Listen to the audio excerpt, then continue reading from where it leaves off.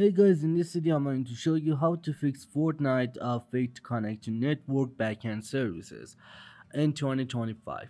First of all, just go ahead and close uh, Fortnite.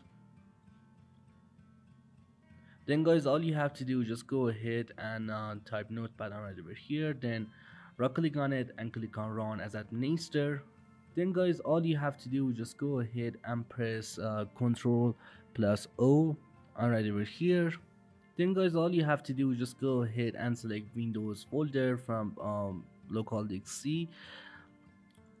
Uh, then guys all you have to do is just go ahead and look to find system uh, 32 then uh, click on drivers folder and then click on etc.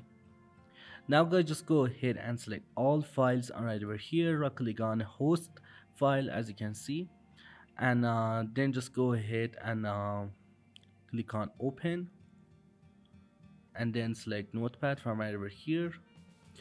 Now guys all you have to do is just go ahead and um, press uh, ctrl plus a on your keyboard uh, right click on your mouse and then click on delete. And delete everything uh, from here and then click on file and then click on save.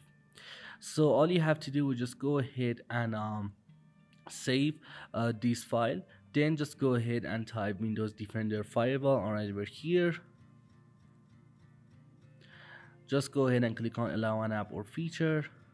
Click on change settings click on allow another app click on browse and now just go ahead and locate uh, Fortnite install location.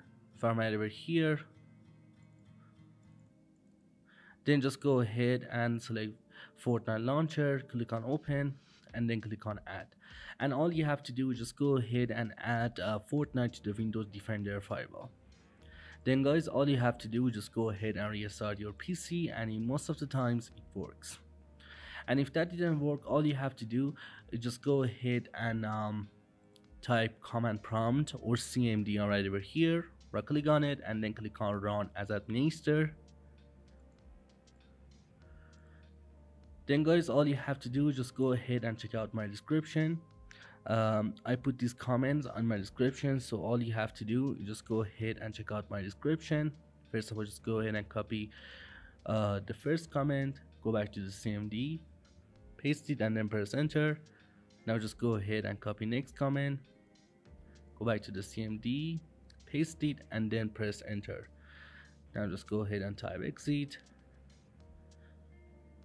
And then just go ahead and restart your PC Anyway, thanks for watching video. I hope this video helped you to fix this error fade to connect to the network backend services. Please go ahead and subscribe my YouTube channel and like this video. Peace out.